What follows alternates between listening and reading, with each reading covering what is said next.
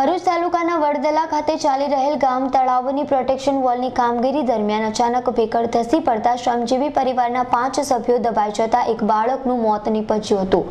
વડદલા પંચાયત દ્વારા ચોમાસાને ધ્યાનમાં લઈને છેલ્લા ત્રણ દિવસથી તળાવની પ્રોટેક્શન વોલની કામગીરી હાથ ધરવામાં આવી હતી. દરમિયાન સાંજના સુમારે અચાનક એક ભેકડ ધસી પડતા નીચે રહેલા શ્રમજીવી પરિવારના એક બાળક સહિત પાંચ સભ્યો દબાઈ જતા દોડધામ મચી જવા પામી હતી.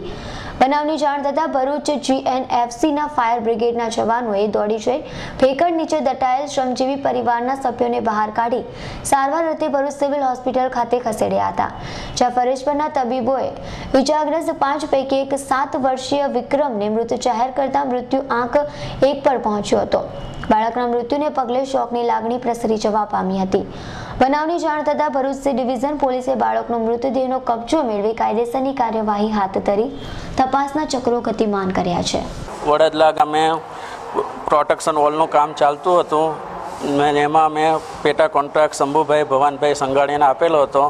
તે તળાવની માટીની, માટી ધસી પડવાથી મજૂર દબાઈ ગયા હતા. તેમાં ત્રણ મહિલા હતી અને બે છોકરા હતા. એમાંથી એકમાં એક છોકરો ઓફ થઈ ગયો છે. એનું નામ છે વિક્રમભાઈ મનુભાઈ સંગા એ ભુરિયા. આવી સૈયદનો રિપોર્ટ ભરૂચ.